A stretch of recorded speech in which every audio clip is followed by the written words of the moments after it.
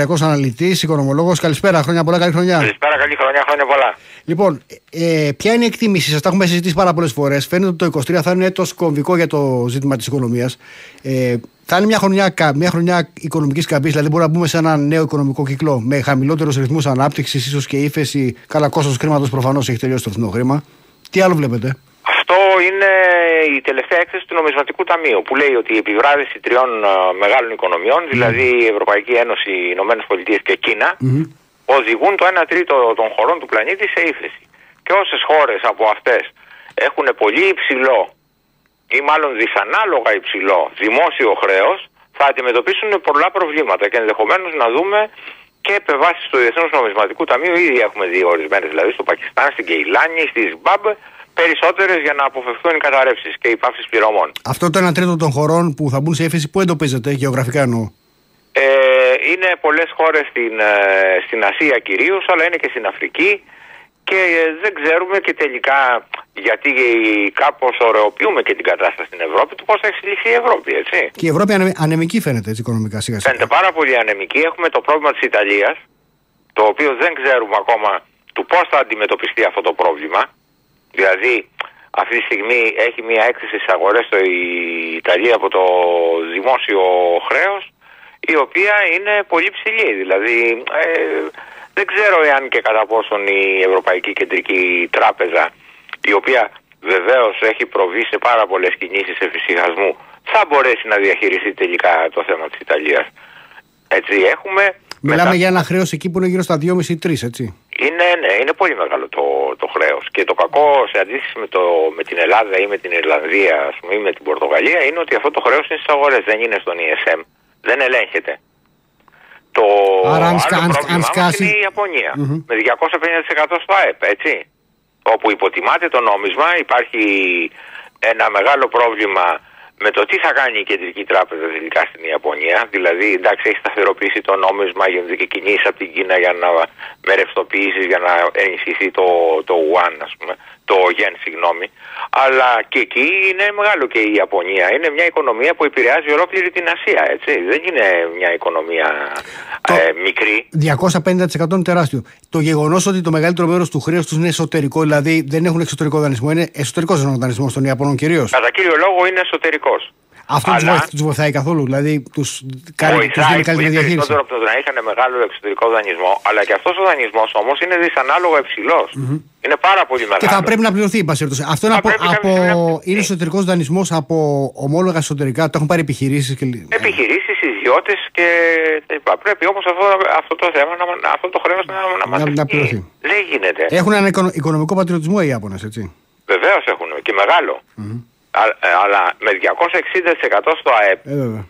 ε, βέβαια, και, ε, είναι στη- στη χειρότερη δυνατή θέση των βιομηχανικά αναπτυγμένων οικονομικών Γιατί, οικονομικών γιατί χωρών. την πάτσαν οι Ιάπωνες; Έχει παγιδευτεί σε νομισματική πολιτική με μηδενικά επιτόκια και με 7,5 τρισεκατομμύρια δολάρια δημόσιο χρέος πλήττεται και από την υποτίμηση των νομιών και προκαλεί επικίνδυνες αποσταθεροποιητικές τάσεις σε ολόκληρη την Ασία.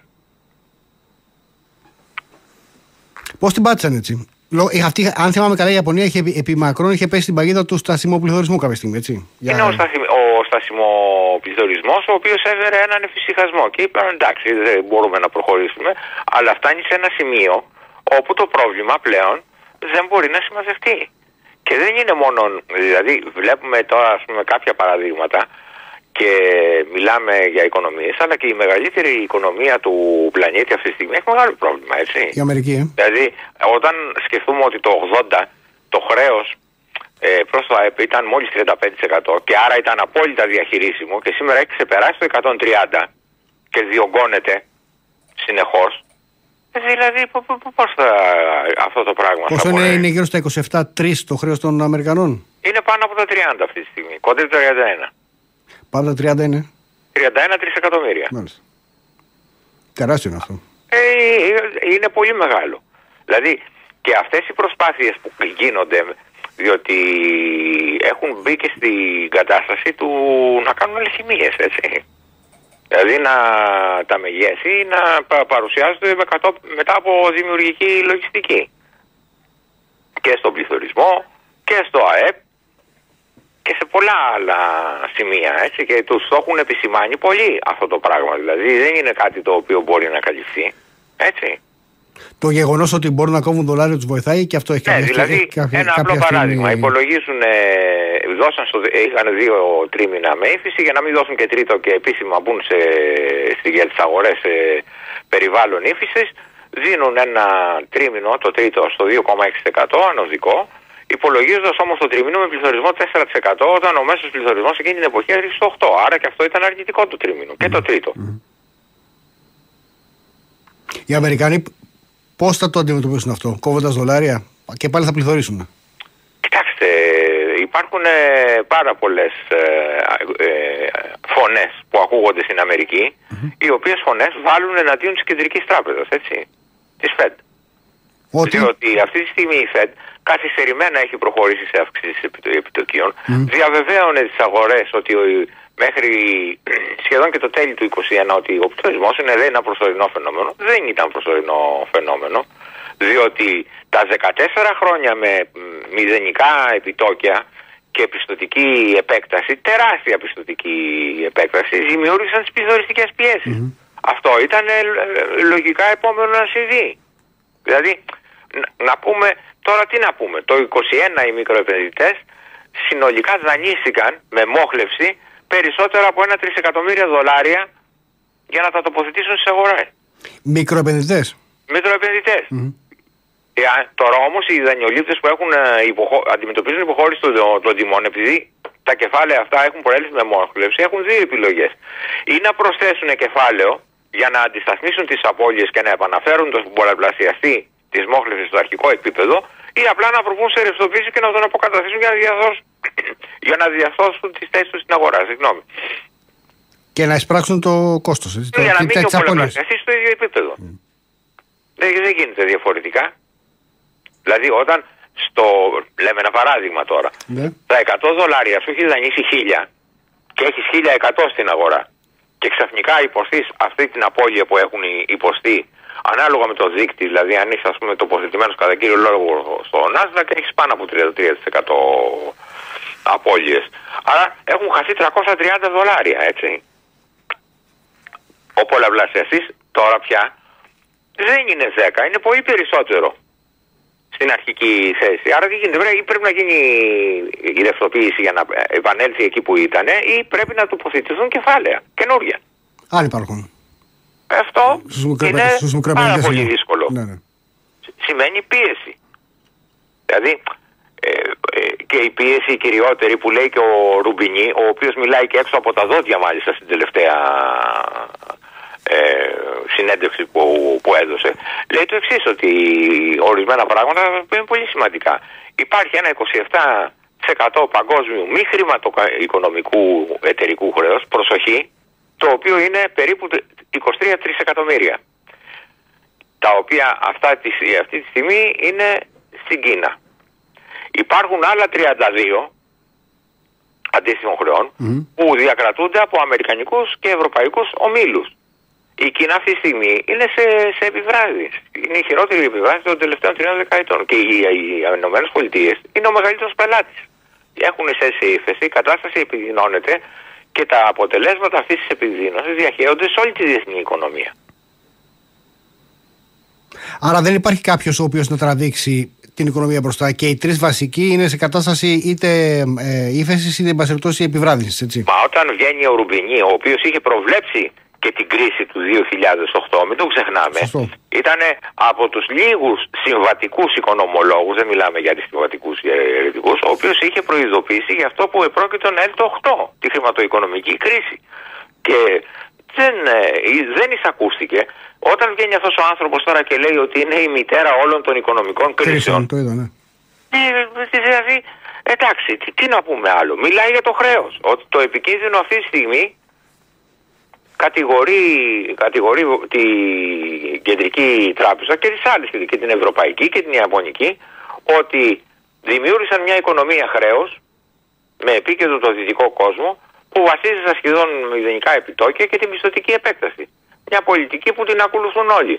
Άρα η συνέπεια αυτών των επιλογών εκδηλώνεται αφενός με πληθωριστικές πιέσεις που που έχουν καταστροφικές επιπτώσεις για τους πολίτες και τις επιχειρήσεις και από την άλλη πλευρά ε, η, η Κεντρική Τράπεζα της Αμερικής και της Ευρώπης βέβαια με, μέσα σε ένα βαθμό για να αντιδράσουν τον πληθωρισμό προσφεύγουν στην γνωστή νομισματική πολιτική με αύξηση επιτοκίων. Αλλά μέχρι το τέλος του 2022 δεν είδαμε σοβαρή επίπτωση στη μίας των τιμών. Γιατί ο, τα επιτόκια εξακολουθούν να κινούνται σε ιστορικά χαμηλά επίπεδα. Δεν είναι ας πούμε το 80 που ήρθε ο Βόλκερ και τα πήγε κατευθείαν στο 20%. Είμαστε με χαμηλά επιτόκια σε σχέση με, με προγενέστερες περιόδους που αντιμετωπίζαμε τα, τα ίδια προβλήματα. Ναι, απλά είναι υψηλά σε σχέση με τον δανεισμό που προηγήθηκε και σε σχέση με την κατάσταση που είχε δημιουργηθεί στην οικονομία. Είναι την... χαμηλά. Ναι.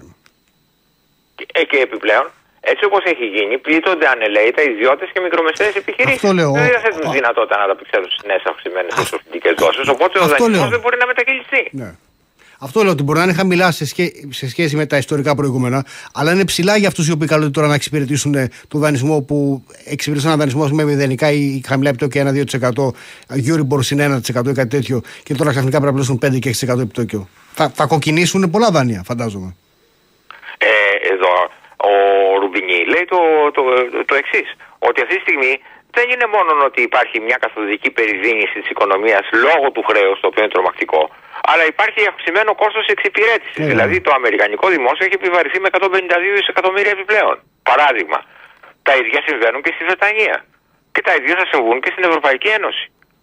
Αλλά όταν έχεις έναν αυτόματο μηχανισμό ουσιαστικά, γιατί αυτό συμβαίνει στην Αμερική κυρίως, να δανείζεσαι περισσότερο για να χρηματοδοτήσεις προγράμματα χωρίς να υπάρχουν τα απαραίτητα έσοδα για να αποπληρώσεις το πρόσθετο χρέος, τότε έχεις ένα πρόβλημα όπου το αυξανόμενο επιτόκιο σου προσθέτει και νέο βάρος στην εξυπηρέτηση των δανειακών υποχρεώσεων. Λογικά, είναι απλό, το ξέρει κάθε οικογενειάρχης. Λογικά θα έχουν πρόβλημα και τράπεζες από την αδυναμία εξυπηρέτησης των δανείων των ε, στεγαστικών, ε, επιχειρηματικών, ε, καταναλωτικών κλπ. Έτσι. Θα κοκκινήσουν δάνεια, άρα αυτό που έκαναν οι τράπεζες μεγάλη προσπάθεια να ξεφορτωθούν, δηλαδή τα κόκκινα δάνεια, θα τα ξα... θα ξανακοκκινήσουν τώρα.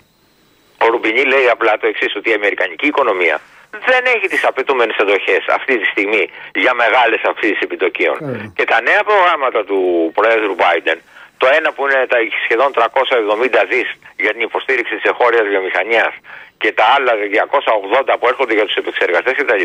προσθέτουν νέα βάρη. Και βραχυπρόθεσμα επηρεάζουν και ανωδικά τον πληθωρισμό.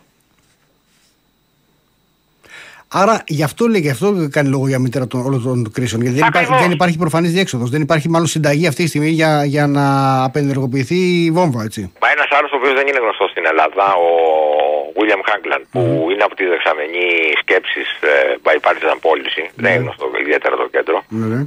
Λέει ότι οι συνέπειες αυτής της καταστροφική καθοδική περιδίνης οικονομίας, υπό την πίεση βέβαια του δυσβάστατου χρέους, δεν αποτελούν συνέπεια μιας εθνικιστική κρίση, διότι οι πολιτικοί λέει όλα αυτά τα χρόνια συμπεριφερόντουσαν, όπως λέει αυτός, όπως οι τερμίτες που καταγραφίζουν ένα στέγαστρο που τελικά καταραίει το στέγαστρο, ο ιδιοκτήτης να το αντιλαμβάνεται όταν προσπαθεί να προφυλαχθεί από μια βίαιη βροχόπτηση και να καταλήγει κάθιδρος και ταλαιπωρημένος.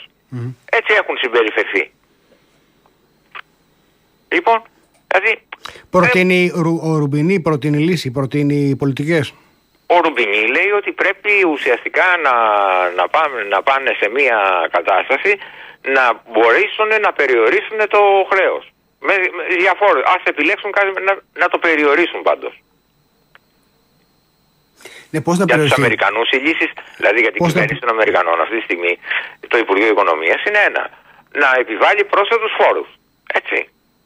Για να μπορέσει να αποπληρώσει ένα μεγάλο μέρος του χρέους. Η δεύτερη λύση είναι να προχωρήσει σε περικοπές δαπανών, όταν όμως κάνει εντελώς το αντίθετο.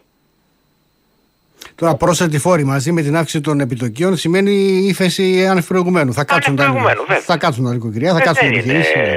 Και η, το κυριότερο σύμπτωμα που βλέπουμε στην ύφεση αυτή τη στιγμή, δηλαδή που μας προδικάζει την ύφεση, έτσι, είναι η αντιστροφή της τάσης των ομολόγων. Δηλαδή, αυτή, κανονικά, ε, το μεγαλύτερο επιτόκιο θα συμπεριφέρεται φυσιολογικά η αγορά των ομολόγων και να προσέξουμε γιατί ο πυρήνας των αγορών είναι τα ομόλογα. Δεν είναι οι μετοχές όπως πιστεύουν πάρα πολλοί. Διότι τα ομόλογα είναι μέσα στα ασφαλιστικά ταμεία, σε ε, χρηματοπιστωτικούς φορείς, σε μεγάλους θεσμικούς επενδυτές, βλέπε BlackRock κτλ. Όπου η αναταραχή στην αγορά των ομολόγων δημιουργεί πολύ μεγαλύτερα προβλήματα από, Από ό,τι τη θα μετοχή. μπορούσε να λειτου- να Γιατί δημιουργήσει. είναι τοποθετημένα στο σύστημα. Έτσι. Είναι, είναι το σύστημα πλέον. Ναι, είναι ναι. συστημικός ο κίνδυνος Ναι. καθαρά. Λοιπόν, αυτή τη στιγμή, ε, ενώ κανονικά ξέρουμε ότι το, το έντοκο έχει πολύ χαμηλότερο επιτόκιο από το δεκαετές. Αυτή είναι η, η ομαλή εξέλιξη στη δευτερογενή αγορά. Λοιπόν, ξαφνικά βλέπουμε ότι το τρίμηνο το αμερικανικό το έντοκο έχει καλύτερη απόδοση από ό,τι έχει το αμερικανικό το δεκαετές. Δηλαδή έχει μια διαφορά αυτή, τη χειρότερη διαφορά που έχει είναι μείον 75, μείον 80 μονάδες βάσης, από ό,τι είχε εδώ και τέσσερις δεκαετίες. Και κάθε φορά που εμφανιζόταν αυτή η τάση, το 88, το 1, το 7 και το 19, είχαμε ύφεση. Η αντιστροφή αυτή που οφείλεται; Η αντιστροφή αυτή οφείλεται στο γεγονός ότι οι επενδυτές ρευστοποιούν τα βραχυπρόθεσμα ομόλογα, άρα πολλούνται κάτω από το άρτιο και γι' αυτό βλέπουμε να ανεβαίνει το επιτόκιο και στρέφονται προς τα περισσότερο μακροπρόθεσμα, δεκαετές βλέπε κτλ. Οπότε τι γίνεται, ενώ ναι μεν και στο δεκαετές πλέον έχουμε διαπραγματεύσει κάτω από το άρτιο, αλλά είναι πολύ χειρότερη η εικόνα στα έντοκα. Άρα εδώ τώρα, μα, με αυτό το οποίο περι, περιγράφουμε, περιγράφεται και πε- περιγράφουν και οι οικονομολόγοι, Ρουμπινί κλπ. Δεν φαίνεται να υπάρχει τρόπος αποφυγής αυτού που έρχεται. Και δεν, δεν φαίνεται να υπάρχει τρόπος έστω αποσυμβίεσης προσωρινή. Ε, ο, οι λύσει είναι για την, ε, για την Αμερική, δηλαδή που υπάρχει και το μεγαλύτερο πρόβλημα, κατά την άποψή μου αυτή τη στιγμή. Οι λύσεις είναι δύο: περικοπή δαπανών και αύξηση φόρων. Άρα ύφεση. Ε, ούτως, δηλαδή μεγαλύτερη ύφεση από, ότι- από αυτή που προκαλούν- που προκαλεί αύξηση των επιτοκίων. Ευρώπη; Ευρώπη και α, η, η χειρότερη χώρα αυτή τη στιγμή είναι η Βρετανία, το βλέπουμε, το Ναι, ξέρουμε, η χάλια. οποία θα υποστεί πάρα πολύ άσχημες συνέπειες, έτσι, με αυτή την εξέλιξη που έχουν τα πράγματα. Η Ευρώπη θα ακολουθήσει, δηλαδή ενδεχομένως να δούμε προβλήματα όπως αυτά που βλέπουμε στη Βρετανία. Διότι αυτή τη στιγμή, να, πάρουμε, ε, να πούμε κάτι πολύ απλό, δηλαδή ε, η Ευρώπη αυτή τη στιγμή ταλανίζεται κυρίως, δηλαδή αυτό είναι στην επιφάνεια, η κρίση ενέργειας. Πολύ ωραία. Έχουμε μια κρίση ενέργειας λοιπόν στην Ευρώπη η οποία αυτή τη στιγμή ε, έχει κοστίσει πάρα πολλά χρήματα στις επιχειρήσεις έτσι, η άνοδος το- των τιμών δηλαδή το κόστος που έχουμε αυτή τη στιγμή ε, στην ενέργεια όπου αυτή δεν ξέρω τι, τι, τι, τι, τι μπορούμε να κάνουμε και πώς μπορούμε να, το, να σώσουμε δηλαδή την κατάσταση. Είναι περίπου πάνω από 1,6 δισεκ- ε, 1,06 δισεκατομμύρια δολάρια, 1 δισεκατομμύριο ευρώ χοντρικά, σύμφωνα με την Ευρωπαϊκή Δεξαμενή Σκέψης Μπρίγκελ των βρυξελων Μμμ. τα οποία έχουν επιβαρύνει επιχειρήσεις και ιδιώτες. Επιπλέον. Λοιπόν, από την άλλη πλευρά, η μαζική υποστήριξη που προσφέρεται με κυβερνητικά μέτρα είναι ουσιαστικά ε, στο 6% του ΑΕΠ. Αυτό είναι τρομερό. Μπράβο. Είναι το νούμερο. Ε, βέβαια. Δηλαδή, Ε, βέβαια. η, η πολιτική αυτή είναι λάθος. Δηλαδή πρέπει να, να ενθαρρύνει η Ευρωπαϊκή Ένωση τις αποταμιεύσεις με καλύτερα επιτόκια βέβαια από τις τράπεζες, το βλέπουμε το πρόβλημα, να αυξήσει την προσφορά και να προσπαθήσει να κάνει κάποια πράγματα για να υποστηρίξει βέβαια την κοινωνία χωρίς να επιδοτεί με αυτόν τον τρόπο. Για στην ουσία η, η, επιδοματική, η επιδοματική πολιτική και, τον, ε, και δεν λύνει το πρόβλημα και τον πληθωρισμό στην ουσία ενισχύει Ναι. και δεν λύνει και το πρόβλημα, το πρόβλημα δομικά. Από την άλλη όμως θα πρέπει κάτι να κάνουν για να ελαφρύνουν άμεσα ε, νοικοκυριά, νοικοκυριά επιχειρήσεις κλπ. Δηλαδή θα πρέπει κάποιος να απορροφήσει τα κράτη, ποιος άλλος, το κόστος Πρέπει τουλάχιστον, του- τουλάχιστον να βρα, γίνει βραχυπρόθεσμα. Γιατί αλλιώς θα γίνει. άμεση παρέμβαση στην αγορά ενέργειας. Αυτή τη στιγμή πανηγυρίζουν επειδή οι τιμές στον Ολλανδικό δίκτυο τι- τιμών αναφοράς, στο DTF, Ναι. Κινούνται περίπου γύρω-γύρω από τα 80 ευρώ στη μεγαβατόρα. Ωραία. Αλλά εάν πάμε να δούμε με την τιμή του κυβικού μέτρου του υγροποιημένου φυσικού αερίου στο δίκτυο τιμών Henry Hub στην Αμερική θα, βγα- θα ναι. δούμε ότι μας βγάζει μια τιμή μεγαβατόρας γύρω στα 43 ευρώ σε ευρώ. Λοιπόν, μισή. δεν είναι δυνατόν να έχουμε μια διαφορά κοντά στο 84% και να περιμένουμε να επιβιώσουν οι μικρομεσαίοι και οι, Ε. οι επιχειρήσεις. Δεν γίνεται. Αλλά τι, τι συμβαίνει εδώ; Διότι πολλοί θα πούνε ότι είναι τα λόμπι, τα οποία λόμπι τα οποία είναι τα λόμπι της ενέργειας, τα οποία πιέζουν το Ευρωκοινοβούλιο κτλ. Στην πραγματικότητα αυτό γίνεται λόγω του δημοσίου. Αυτή η κατάσταση. Δηλαδή, ναι, μεν είναι ενεργειακό μείγμα στην Ευρώπη, αλλά εάν είναι ενεργειακό, δηλαδή έτσι τα πράγματα, τότε μας κοστίζουν πάρα πολύ οι ανανεώσιμες, έτσι δεν είναι; Πολύ, επιδοτούνται συνέχεια. Βέβαια. Τις πληρώνουμε. Επιδοτούνται από τους πολίτες, έτσι, μέσω φόρων. Ναι. Αλλά σε, ε, ε, εδώ που λέμε ότι στην πραγματικότητα πίσω από τα λόμπι, που εντάξει μπορεί να υπάρχουν και λόμπι που να επιστηρίζουν το Ολλανδικό χρηματιστήριο και να μην θέλουν να αλλάξουμε τιμή αναφορά, να πάμε δηλαδή με τη Σιγκαπούρη με το Henry Hub, mm. Το 70 με 75% των το τιμολογίων κατανάλωσης ενέργειας που καλείται να εξοφλήσει ο καταναλωτής είναι ρυθμιζόμενες χρεώσεις, εισφορές και φόροι του δημοσίου. Οι χειρότεροι είναι οι Γερμανοί. Δηλαδή, μόλις το 24% στο ποσό του είναι, τιμολογίου είναι, είναι το, το κόστος που ορίζει ο πάροχος και το εισπράττει. Το υπόλοιπο επιμερίζεται σε κόστο δικτύου, φόρο ανανεώσιμος, φόρο προσθέμενη αξία, φόρο ηλεκτρικής ενέργειας, εισφορές διάφορες κάλυψης, υποστήριξης κτλ. κτλ. Δεν γίνεται. Δηλαδή, συγγνώμη, το 76% είναι φόροι και λοιπά και το 24% είναι το, κόστο, το καθαρό ναι. κόστος ενέργειας. Ναι, ναι, ναι. Το τιμολόγιο που πληρώνει ο Γερμανός. Η οποία η Γερμανία κινδυνεύει να γίνει Βρετανίας, αν έτσι. Δεν θα κινδυνεύει με αυτήν την κατάσταση, εκεί θα πάει. Ό,τι έχουμε να δούμε. Δηλαδή δεν μπορεί αυτή τη στιγμή, επειδή το γερμανικό δημόσιο έχει βρει έναν τρόπο πολύ εύκολο, πολύ άνετο να εισπράττει, έτσι, να μπει σε μια διαδικασία να δεχθεί μαζί με όλους τους υπόλοιπους Ευρωπαίους να πάμε με έναν άλλο δίκτυο αναφορά για να πάμε στο επίπεδο του Αμερικάνου. Δηλαδή να πάμε στα 45 ευρώ τη μεγαβατόρα. Χάνονται έσοδα.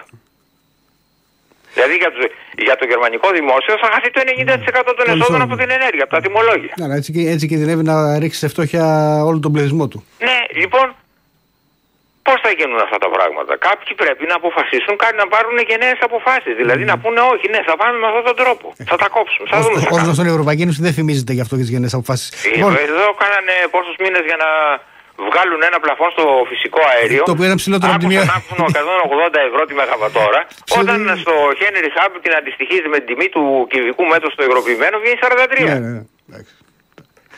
Τραγωδία και γελιότητα μαζί. Λοιπόν, τα λέμε και στην πορεία και τα υπόλοιπα θέματα. Είναι πάρα πολλά. Πάω στο διάλειμμα. Ευχαριστώ πάρα πολύ.